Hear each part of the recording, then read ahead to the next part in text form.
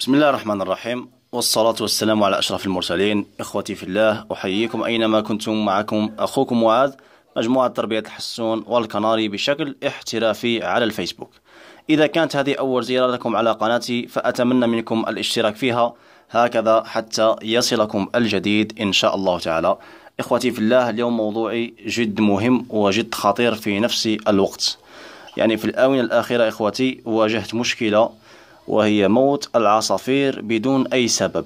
يعني ليست هناك أعراض في البطن ولا أعراض أخرى في في البراز. يعني لون البطن عادي ولون البراز عادي ولكن الطائر يصيبه تسييف أو تسيف قوي.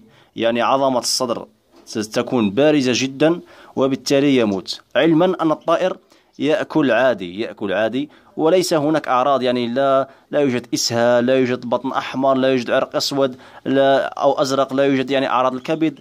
الطائر عادي جدا فيموت. فصراحة إخوتي مات لي أكثر بكل صراحة مات لي أكثر من 7 ملايين تاع عصافير. فتعجبت قلت يعني ما السبب؟ يعني منذ قرابة الشهر ونصف وأنا يعني أبحث ويعني أعمل تحقيقات إلى آخره حتى أعرف السبب. يعني الطائر يموت هكذا وبكل صراحة لم ينفع أي مضاد حيوي. والله يا إخوتي لم ينفع أي مضاد حيوي. يعني وراح نقولها لكم الآن وليس إشهار. والله العظيم ليس إشهار. فقط دواء بيترو أو كارديلو هو الذي أنقذ البقية. فالحمد لله الذي جعله سببا لإنقاذ بقية الطيور. الحمد لله. فإخوتي فتحت يعني تحقيقات ووضعت يعني منشور على الفيسبوك أيضا. قلت فيه يعني ليس هناك أي أعراض. فيعني قلت لهم من يعاني بمثل ما مثل ما عانيت منه. يجب أن نعرف ال يعني السبب يعني نعرف المصدر. فيعني الحمد لله وجدت ناس كثيرة عانت مثلي تماما. فتواصلت مع كل واحد فيهم. تواصلت يعني تستطيعون رؤية المنشور على مجموعة يعني الفيسبوك تربية الحسون والكناري بشكل احترافي. آه، يعني تواصلت مع كل واحد عانى من نفس المرض. فكان يعني الشيء الوحيد المشترك بين كل هؤلاء كان هو نوعية البذور. يعني أنا كنت أعطي البذور نوعية كامي لطيوري وكل كل من أصابهم هذا المرض وفقدوا طيورهم يعطون آه، بذور نوعية الكامي. إذا إخوتي أنا واش نقول لكم إخوتي؟ يعني أنا كان عندي شك ب يعني 60 ل 70% أن المصدر هو البذور. لأن إخوتي يعني أنا است... يعني أستعمل كامي منذ أكثر من من خمس إلى ست سنوات. يعني فيما مضى الصراحة كانت الكامي تأتي جيدة جدا. كانت تأتي جيدة جدا. يعني البذرة لما تراها بذرة بأتم من الكلمة. أما الآن راح تأتي إخواتي بكل صراحة. يعني فيما مضى وضعت لكم فيديو شكرت الكامي قلت لكم الكامي إخواتي مليح ولكن الآن يجب أن يعني أقول الحقيقة. أقول الحقيقة لأن نوعية الكامي تغيرت راح تأتي مليئة بالبذور مليئة, مليئة بالغبار عفوا البذور يابسة يعني آه، نوعيتها قلت بشكل ملحوظ ملحوظ جدا. وإخوتي أنا يعني حسب تحقيقي 90% السبب هو بذور الكامي للأسف. يعني آه، نحن نقول للمصيب أصبت وللمخطئ أخطأت. ما نوضع إشهار حتى الواحد. اللي يخطأ نقول أخطأت. أنا نقد الطيور تاعنا. إخواتي نقول لكم أنا سأرجع إن شاء الله مثل ما كنت قديما. يعني لأني إخواتي يعني عندي تجربة في ميدان البذور هذا. يعني دراستي كنت أذهب من هنا وهناك وأرى. سأقول لكم إن شاء الله ممكن يكون هذا السبب وممكن لا. يعني هناك إخوتي نحن خاصة الجزائر نستورد البذور مثل ما تعرفون. وهناك اتفاقيات بين البلدين يعني الجزائر والبلد الذي يبعث لنا.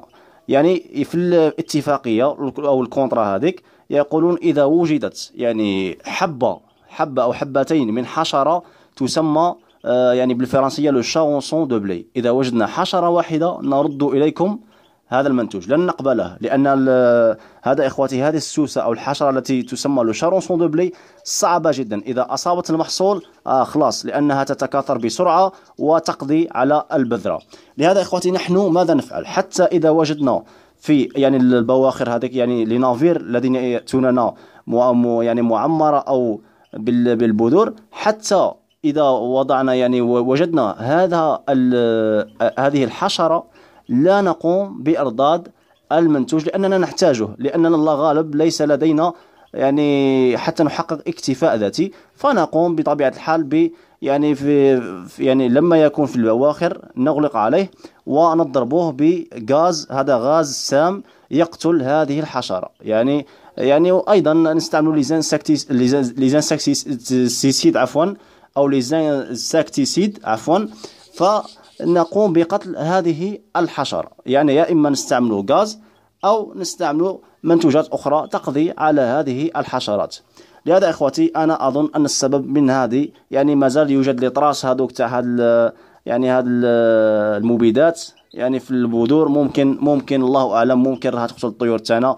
لهذا إخوتي نوصيكم أنا سأستعمل سأرجع مثل ما كنت قديما. يعني هذا راح من هنا وصاعدا نرجع مثل ما كنت في القدم نشري من هنا وهناك ونخلط يعني أقوم بصنع آه هذا إخوتي هذا واحد كيلوغرام من بذرة البراقة واحد كيلوغرام.